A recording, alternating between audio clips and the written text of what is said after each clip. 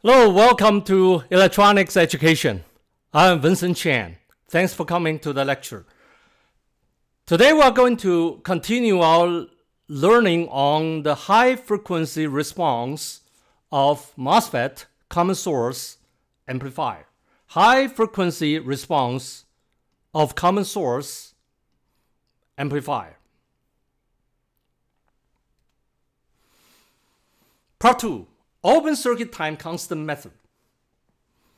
Open circuit time constant method. So let's quickly review what we talked about before, which is the high frequency analysis methodology. High frequency analysis methodology. Starting with the common source amplifier on the bottom and high frequency equivalent circuit on the top where two capacitors are included CGS and CGD. So three ways to solve this time constant method, open circuit time constant method, simple and straightforward, and Miller's theorem. theorem. And the last one is the transfer function derivation. So now this lecture, we're going to focus on the first approach, which is the open circuit time constant method. So when you look at the spectrum of an amplifier, amplifier spectrum and focus on the high frequency band, and then those high frequency behavior is affected, is controlled by those internal capacitors in this case, common source amplifier, which where CGS, gate to source capacitance, and gate to drain capacitance are considered. So open circuit time constant, open circuit time constant. Let's quickly review the method. The first, in step one, you set the input signal to zero, and then step two, you leave 2 and 3 open. And then calculate R10. And 1, 3 open and calculate R20. And 1, 2 open, try to get the resistance seen by the last capacitance, C3, which is R30 are recorded. And then the next step, you get all the time constant. The final step, you just simply put the sum of all time constant into the denominator. And this will give you the answer for quick estimation for upper 3 decibel frequency. So now this is the high frequency equivalent circuit. So first step, set the input signal to zero. So you simply short circuit the VI short circuit the VI. And step two, you find all the open circuit resistances. Open circuit resistances. So how many resistance you are going to find? Two. R10 and R20. So first, let's try to get R10. So R10 means what? You let C2 open. You open circuit the rest of the capacitance. And you grab the terminal of two terminal of the C1, which is in this case CGS. So what do you see? What do you see? This is easy, right? The parallel combination between R and R in. It's very easy. So R and R in. Let's define this. Just rename the parallel combination of these two as RT. So this is easy. The first time constant, you got it. C1 R10 CGS times RT. Easy, right? Okay. Then next, you open circuit C1 and grab the two terminal of C2, which is the, the green and the blue green terminal and the blue term terminal and look at the resistance between green and the blue, the R20. So now the RT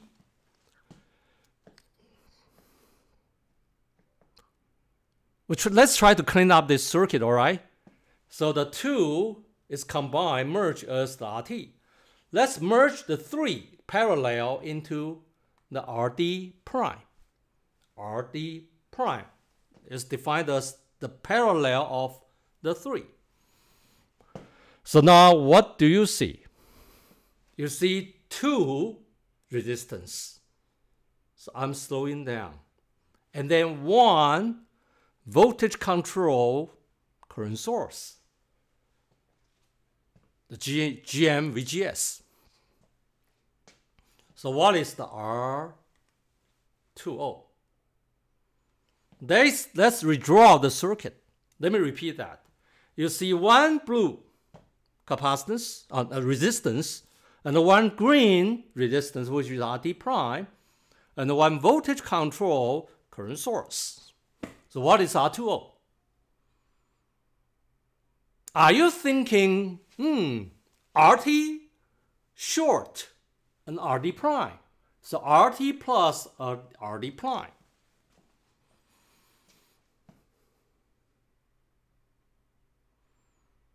What about the voltage control current source?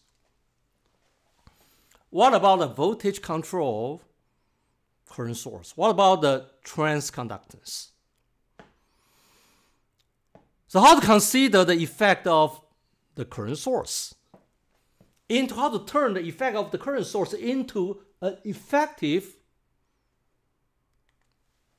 resistance. So now I want you to stop, to pause for three minutes. Try to solve the effective resistance seen by CGD, which is the R20. So just take a screenshot and get a piece of paper, try to solve this. I'll come back in three minutes. Can you get this? So by definition, the effective resistance, the input resistance is you, if you cannot get the answer, then at least you can do this, right? Let's connect a testing voltage generator and flowing out a current. Try to find the relationship between VT and I will give you the answer. All right. So you just simply write down the current flowing into the green uh, blue node, which is I, equals the two current out. One is GMVGS, the other one is VT plus GM, uh, VGS minus uh, uh, divided by RD prime. The recurrent equals the recurrent equals the orange plus the green current. And try to solve the VT of I. Of course, you need to replace the VGS by VT and I. Then you will get this answer. I'm not going to belabor the detail. The derivation, actually you just need one equation and then replace VGS by either I or VT. Then you can solve this. But this, today I'm going to teach you, I'm going to do, you know, let me ask you, looks familiar? Does this look familiar to you?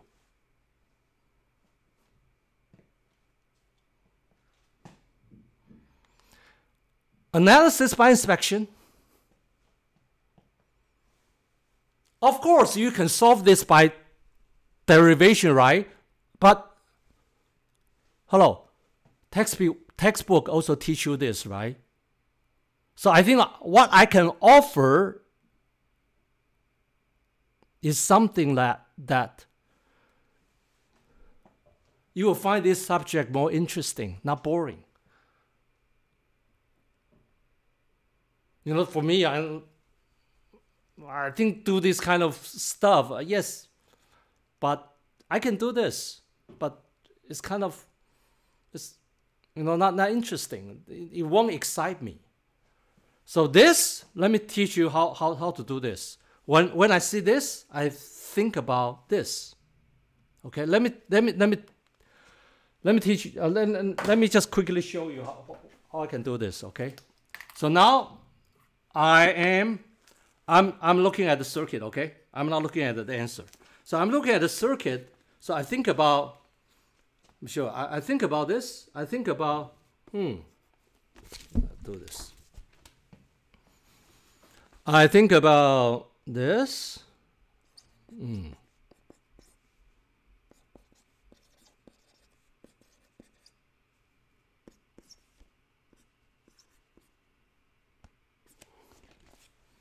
I do this.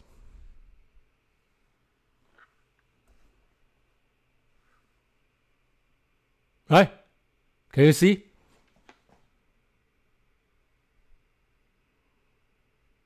But I'm thinking about let, let me let me just oh, dissect what I process how I process this. Let me show you. I'm thinking about this. The circuit is on the left, but I'm thinking about my brain, the picture, I picture this in, in my mind. I picture this in my mind, right? Do you think this is equivalent? No? Blue correspond to blue. Green correspond to green. What about this? This is the equivalent circuit of this, right? Of the one on the top. The equivalent circuit. And then you compare these two. You compare these two. The green, all, all the corresponding relationship has been painted in certain color. Blue, the blue correspond to blue uh, green correspond to green. Probably you need to pause and think about this. It's the same, right? So on look at the left, green parallel GMVGS, and then what? Then in series with blue. Same thing was here. Green parallel orange current source, and then series with RS. So on the right hand side, the output resistance is the, is the one that between blue and green. The same thing here. So you will ask the resistance between blue and green. And so you simply uh, you simply leverage leverage the one that you are very familiar you already very familiar with, which is RO plus 1 plus mu Rs, which is the resistance reflection rule. The source resistance came back to drain and multiplied by what? By 1 plus mu. What is mu? Gm times Ro. The product of transconductance and output resistance. You know, several process. And the GM, Ro, GM is GM on the left. Ro on the right correspond to RD prime on the left hand side. All right, so you can practice this. The reason I want to teach you this, solve this by inspection, because this gonna show up in other courses and other circuit. So it's worth for you to invest this time and try to get this by inspection once for all. Time constant. Let's go back to the to, the so the, it's what's still stuck in this the the, the step two because because many students cannot move forward with beyond this point is they got stuck by the R2O. R1 Oh, o is easy, but R2O you can solve this by inspection. And then you get the tau 2, step 3. Then what? Then easy. Sum of all the time constant. Effective time constant equals the sum of the individual time constant. And the last one, inverse the sum. You simply put the effective time constant, the total time constant into the denominator. This will give you the answer. This is the major takeaway. Analysis by inspection. First one, the resistance seen by C1, the CGS, this is easy. But the tough part is the second. So what is second? Let's practice. Let's practice. RO, which is RD prime, the parallel of 3, plus 1 plus mu. What is mu? GM times RD prime. And then RS, S, the source. The source means the source of MOS, the source of MOSFET. Source gate drain, the source, reflect to drain, multiply by 1 plus mu, this. And then for this, because I we just gone through this. We just gone through this. Analysis by inspection to solve the R2O. I know I the way I teach, I kind of challenge you to go higher. Right? I believe this kind of skill will help you stand out. All right? So because I don't, I'm a teacher at heart, so I don't expect you to be mediocre. I expect you to become an excellent, an excellent engineer, an excellent IC designer. All right. So look forward to seeing you in the in the next lecture video. We're going to teach uh, the second approach, which is the Miller effect, the Miller theorem, to solve the high frequency response of MOSFET common source amplifier. Look forward to seeing you. Thanks for watching.